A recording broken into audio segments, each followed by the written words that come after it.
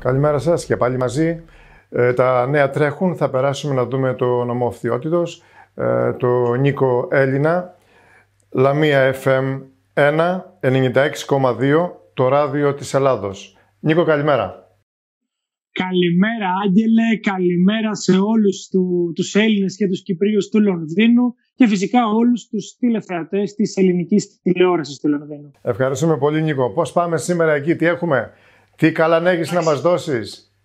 Τα νέα είναι πολύ καλά, αλλά επέτρεψέ μου στην αρχή να κάνουμε μία μικρή παρένθεση με την υγειονομική κατάσταση της περιοχής, όπου δεν είναι πάντα ευχάριστα τα συγκεκριμένα νέα. Ε, ενδεικτικά μόνο να αναφέρω, γιατί θέλω να επικεντρωθούμε στα καλά, ότι η φθηνότητα για άλλη μία ημέρα εχθές Κυριακή 18 Απριλίου ήταν πρωταθλήτρια μαζί με τη Βιωτία στην περιφέρεια Στερεάς Ελλάδας σε κρούσματα. Είχαμε 20 θετικά καταγεγραμμένα κρούσματα. Ε, όπως είπα και η Βιωτία είχε 20, η Εύβοια ακολουθεί με 15 και έχουμε Ευρυτανία και Φθιότητα από ένα μόλις κρούσμα. Επίσης, να αναφέρω, όπως, κάνουμε και, όπως έχουμε κάνει και στις προηγούμενες συνδέσεις μας, ότι ε, το νοσοκομείο της Λαμίας δεν είναι ασφικτικά γεμάτο, όμως είναι στα όρια του και φυσικά αυτό δείχνει ότι ακόμη ο νομός Φθιότητας αλλά και ολόκληρη η στερεά Ελλάδα δέχεται ακόμη πίεση από τον κοροναϊό. Όχι όπως τις προηγούμενες εβδομάδες, σίγουρα υπάρχει μια βελτίωση στην εικόνα, αλλά ακόμα υπάρχει πίεση όπως ε, είπαμε και πριν. Ελπίζουμε αυτό να τελειώσει σύντομα, Νίκο. Να ευχηθούμε όλοι να πάμε πολύ γρήγορα στις δουλειές μας και ό,τι έχει σχέση με την υγεία. Ε, πάμε τώρα στο Ράλι Ακρόπολης. Νομίζω οι πρωταθλητές Λαμίας το κερδίσανε. Άγγελε, πραγματικά είμαστε όλοι εδώ στη Λαμία, στη Φθιότητα, στη Στερεά Ελλάδα. Είμαστε περιχαρείς διότι το καταφέραμε. Ο φάκελος ο οποίος καταθέσαμε στον Υφυπουργό Αθλητισμού, τον κύριο Αυγενάκη, ο φάκελος που κατέθεσαν από κοινού η Περιφέρεια Στερεάς Ελλάδας και ο Δήμος Λαμιαίων ήταν αυτός που τελικά προκρίθηκε. Κερδίσαμε σε εισαγωγικά την Περιφέρεια Πελοποννήσου και τον Δήμο Λουτρακίου και πήραμε το Ράλι Ακρόπολης επιστρέφει στην ε, πατρίδα του, επιστρέφει στη Φθιότητα και τη Στερεά Ελλάδα. Να αναφέρω, Άγγελε, ότι το Ράλι Ακρόπολης απουσίαζε 8 χρόνια από το καλεντάρι του Παγκοσμίου Πρωταθλήματος Ράλι του γνωστού WRC. Ήταν στο ERC, το European Rally Championship. Είναι σαν να λέμε να το κάνουμε έτσι και λίγο σε όρους Αγγλίας η Championship με την Premier League. Πλέον το Ράλι Ακρόπολης προβιβάστηκε στην Premier League και έδρα του θα είναι η πόλη της Λαμίας. Πολύ ωραία. Αυτό φυσικά θα μας φέρει περισσότερη προβολή προς τον ομοφθιότητος, οπότε όλα προχωράνε με αυτά που εσείς θέλετε. Ε, να αναφέρω, self-test. Συγγνώμη Άγγελε, να αναφέρω, συγγνώμη Άγγελε, εδώ μια παρένθεση για να ξέρει και ο κόσμος. 9 με 12 Σεπτεμβρίου, είναι τετραήμερο, θα διεξαχθεί το ράλι Ακρόπολης. Η εκκίνηση θα είναι από τον Ιερό Βράχο της Ακρόπολης, σε ένα φαντασμαγορικό θέαμα. Οι πληροφορίες μας μας λένε ότι θα στηθεί κάτι το μοναδικό εκεί στην εκκίνηση. Ε, στη συνέχεια θα ακολουθήσει η διαδρομή των νομό Κορινθίας ε, και ουσιαστικά θα περάσει και λίγο από το Λουτράκι. Δεν έμεινε παραπονεμένο το Λουτράκι, πήρε και αυτό ένα κομμάτι του Ράλι Ακρόπολης και βέβαια στη συνέχεια και για τρεις ημέρες η έδρα των πληρωμάτων θα είναι η Λαμία και θα υπάρχουν εκεί τρεις σούπερ ε, ειδικές διαδρομές, οι γνωστές Βοξίτης, Παύλιανη και η λεγόμενη ως Ταρζάν.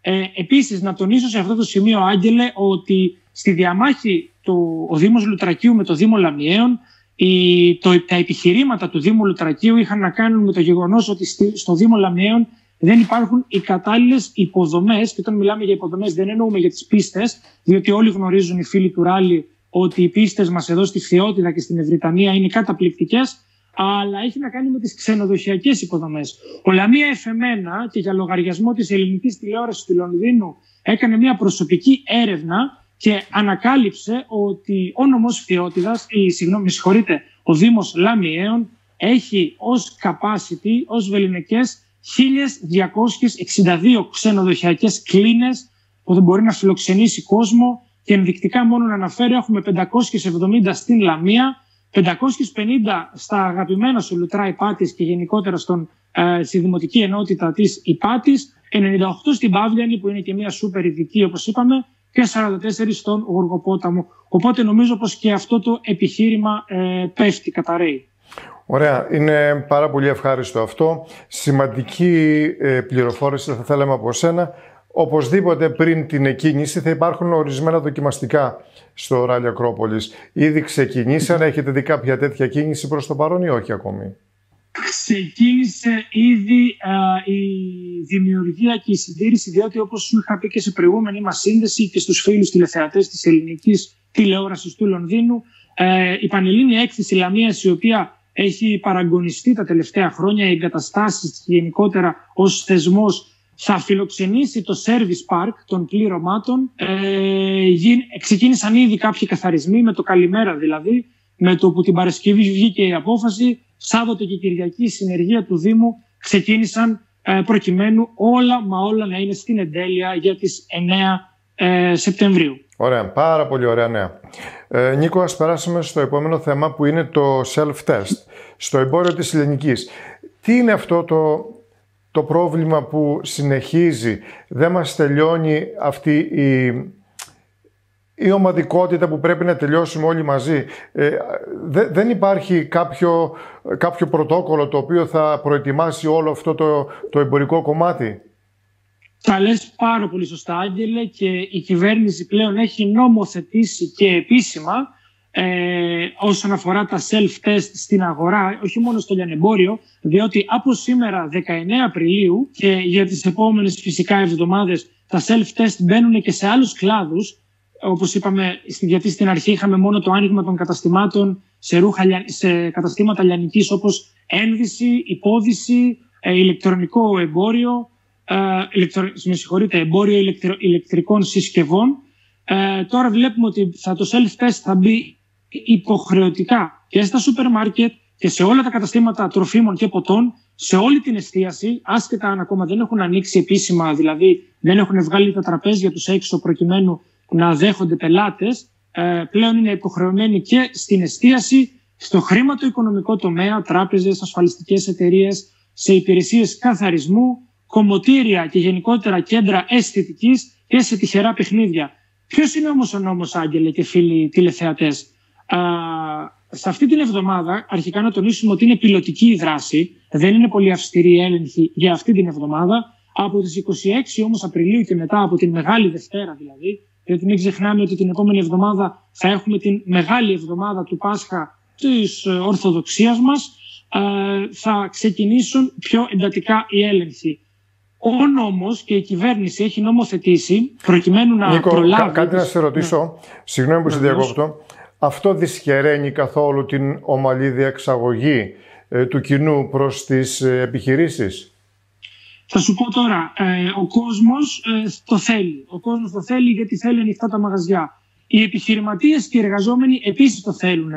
Παρ' όλα αυτά υπάρχουν κάποιες αντιρρήσεις, είναι αυτή η μειοψηφία θα λέγαμε, όπως έχει να κάνει και με τα εμβόλια, όπως έχει να κάνει γενικότερα με, την όλη, με το όλο θέμα του κοροναϊού και της πανδημίας. Έτσι υπάρχει μια μειοψηφία η οποία δεν θέλει ούτε τα self-test. Παρ' όλα αυτά, και αυτό μόλις τώρα θα σου έλεγα, Άγγελε, η κυβέρνηση έχει νομοθετήσει προκειμένου, ε, εάν ένας εργαζόμενος δεν δέχεται να κάνει self-test, ο εργοδότης υποχρεούται, δεν είναι στην. Ε, δεν αποφασίζει ο εργοδότης, αλλά υποχρεούται βάσει νόμου να μην δεχτεί τον εργαζόμενο που δεν θα κάνει το self-test στο χώρο εργασίας, στο εργασιακό περιβάλλον και μάλιστα του δίνει το δικαίωμα, πάλι φυσικά η υποχρέωση του εργοδότη είναι να του κόψει και το μεροκάματο αν υπευθύνη του ο εργαζόμενος δεν δέχεται να κάνει self-test. Ωραία. Αυτό είναι μόνο στο νομοθετιότητα ή γενικώ στην Ελλάδα; Όχι, ισχύει σε όλη τη χώρα και φυσικά και στο νομοθετιότητα. Ωραία. Επικείμενο άνοιγμα τουρισμού. Ε, υπάρχει κάποια προοπτική; Υπάρχει, ο Δήμος έχει δώσει εντολές, ε, ξενοδοχειακές μονάδες, ε, παραλιακά κέντρα και οτιδήποτε έχει σχέμα με τουρισμό να προετοιμάζονται σιγά σιγά. Ο Δήμος εδώ Λαμιαίων αλλά και γενικότερα ο νομός και η Περιφέρεια Στερεάς Ελλάδος ακολουθεί κατά γράμμα τις ε, εντολές της κεντρικής ε, πολιτείας, της κυβέρνησης με λίγα λόγια. Ε, έχει δοθεί το σύνθημα του ανοίγματος, του επίσημου ανοίγματος του τουρισμού στις 14 Μαΐου, Παρασκευή 14 Μαΐου συγκεκριμένα, Ε, μέχρι τότε όλοι ε, ετοιμάζονται πυρετοδός υπό ποια έννοια.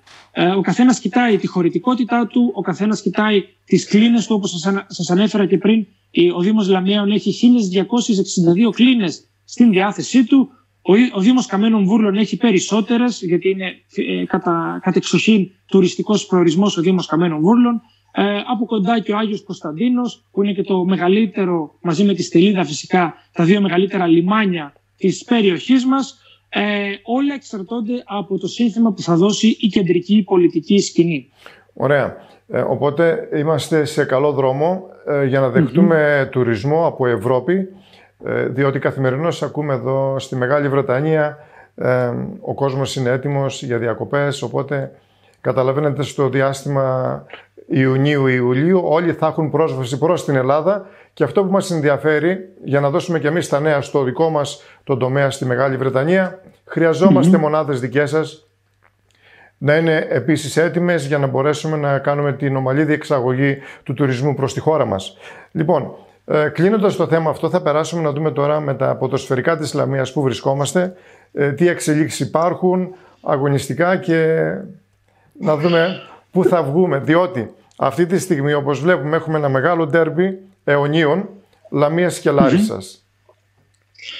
Ε, πολύ σωστά τα λες Άγγελε, για ακόμη μια φορά σε βρίσκω πάρα πολύ ε, σωστά πληροφορημένο για τα τεκτενόμενα εδώ τα δρόμενα της περιοχής μας. Επτά και μισή σήμερα το ΔΑΚ Αθανάσιος Διάκος, φυσικά χωρίς κόσμο λόγω της κατάστασης με τον COVID-19, θα υποδεχτεί την Λάρισα σε ένα παιχνίδι που είναι φωτιά, επέτρεψέ μου να το χαρακτηρίσω έτσι, και για τις δύο ομάδες. Η Μεν Λαμία με νίκη ησυχάζει τα υπόλοιπα τρία παιχνίδια, χαλαρώνει, ξεκουράζεται, διότι εάν εξασφαλίσει τους τρεις βαθμούς έχει σωθεί και μαθηματικά. Φυσικά αυτό δεν σημαίνει ότι τα επόμενα τρία παιχνίδια θα κάνει τουρισμό, αλλά σίγουρα είναι αλλιώς να παίζεις με το άγχος του υποβιβασμού και αλλιώς να ξέρεις ότι έχεις εξασφαλίσει την παραμονή σου στη μεγάλη κατηγορία. Η Δε Λάρισα καίγεται ακόμη περισσότερο, διότι μετά και την νίκη του Σαββάτου του Πανετολικού ε, ε, στο, επί του Απόλλωνας Σμύρνης με ένα 0 ε, κινδυνεύει, βρίσκεται στην τελευταία θέση της βαθμολογίας. Είναι 7 βαθμούς πίσω από την ομάδα της Λαμίας και πραγματικά οι Βυσσινοί θα λέγαμε έρχονται με το μαχαίρι στα δόντια, δεν μπορούν να φανταστούν τίποτα άλλο πέρα από το αποτέλεσμα της νίκης. Ωραία. Ε, για πες μας το, το, το προβλεπόμενο σκορ από το, από το στόμα του να τα ακούσω αυτή τη στιγμή. Λοιπόν, ποιο είναι, τι προβλέπεις; Ε, Εντάξει, εδώ δεν θα μιλήσω εντελώς αντικειμενικά. Καταλαβαίνεις ότι η καρδιά μου είναι, ε, χτυπάει προς την πλευρά της ομάδας της Ισλαμίας.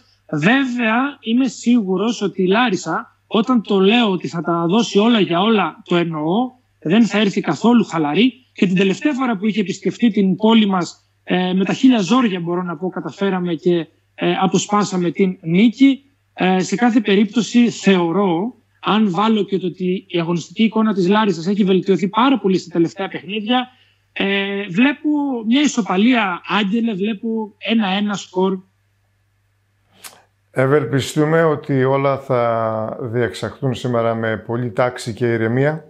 Ε, κάτι άλλο νέο που αφορά τη φθιότητα, Νίκο, σήμερα έχουμε; Ε, το μόνο που μπορώ να σου πω, Άγγελε, αυτή τη στιγμή και θα σου κάνω μάλιστα και κλείνοντας τώρα ένα ωραίο πλάνο, έτσι, ένα δώρο για τους τηλεθεατές της ελληνικής τηλεόρασης του Λονδίνου είναι ότι στη Λαμία σήμερα έχει μια, έχει μια πολύ συνεφιασμένη ατμόσφαιρα. Νομίζω γίναμε και εμείς Λονδίνο για λίγες ε, ώρες σήμερα από το πρωί και αυτή τη στιγμή έχει αρχίσει και ρίχνει και σχετικά θα έλεγα έτσι δυνατή βροχή και επέτρεψέ μου σε παρακαλώ για τους τηλεθεατές σας εδώ του, της, α, της ελληνικής τηλεόρασης του Λονδίνου να σου δείξω το cast Πανέμορφο. Όπως το βλέπουμε πράγματι. εδώ που εργαζόμαστε. Δεν ξέρω αν περνάει από την κάμερά μας ε, τη βροχή, αν φαίνεται. Ελαφρά. Ε, έχει πολύ ισχυρό άνεμο αυτή τη στιγμή και όπως σου είπα και, ε, ε ρίχνει, και βρο, ρίχνει και λίγη βροχή τις τελευταίες έτσι, ώρες. Ωραία Νίκο, ας κλείσουμε το σημερινό μας δελτίο ειδήσεων με τις περιγραφές που μας έκανες. Ευχαριστούμε πολύ. Κυρίες και κύριοι, ακούσαμε τον Νίκο Έλληνα από Λαμία FM1. 96,2 ε, ο σταθμός της Ελλάδος, ο σταθμός της Ισλαμίας. Ε, Νίκο, έχεις κάτι άλλο να μας πεις; Άγγελε, θα ήθελα να πω στο τέλος ένα μεγάλο μπράβο σε εσένα αλλά και σε όλη σου την ομάδα διότι πλέον όλοι στη Λαμία σε μάθανε και όχι μόνο μέσω από τη δική μας σύνδεση αλλά γιατί ε, θέλω να πιστεύω το είδανε και οι φίλοι εκεί στο Λονδίνο. Ε, είχαμε την παρουσία σου στην εκπομπή του Νίκου Μάνεση στο Σούκου Μάνεσης στο μεγάλο κανάλι στον Α ε, που είναι πανελλαδικής εμβέλειας φυσικά. Όλοι μείνανε με το στόμα ανοιχτό για τις εγκαταστάσεις σου, για το τεχνικό σου team και φυσικά για το όραμά σου να ενώσεις την Ελλάδα, την πατρίδα μας εδώ, την, την Ελλάδα, με τους Έλληνες του εξωτερικού και της ομογένειας. Ένα μεγάλο μπράβο από εμένα και σου μεταφέρω γιατί σήμερα βγήκα στον δρόμο και με σταμάτησαν τουλάχιστον τέσσερις επαγγελματίες και μου είπαν «Μα καλά, ποιος είναι αυτός ο κύριος Χριστίδης» και εγώ τους ανέφερα μάλιστα ε, ότι είμαι πολύ χαρούμενος που συνεργαζόμαστε διότι έχουμε πάρα μα πάρα πολλά ακόμα να δείξουμε στην ομογένεια. Νίκο, σε ευχαριστώ πάρα πολύ για τα ωραία σου λόγια. Να ξέρεις ότι δεν θα σταθούμε εδώ. Ο στόχος μας είναι πολύ μεγάλος, ο δρόμος είναι πάρα πολύ μεγάλος. Είπαμε ότι η ελληνική τηλεόραση του Λονδίνου είναι η αφετερία των Ελλήνων στο Λονδίνο.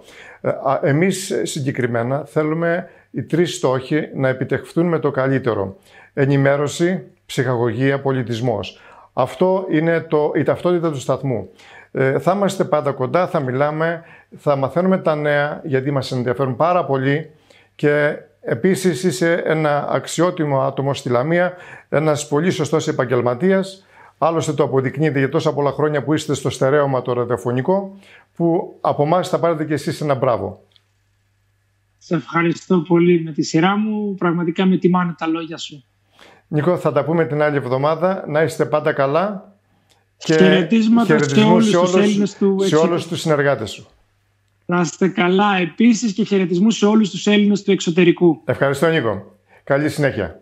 Να είστε καλά. Bye, bye, bye. Ε, ακούσαμε τα νεότερα από Λαμία και Νίκο Έλληνα. Ε, θα συνεχίσουμε να σας δείξουμε ωραία πλάνα της Λαμίας. Πολύ σύντομα και από μένα και τους συνεργάτες μου να έχετε ένα καλό απόγευμα. Γεια σας.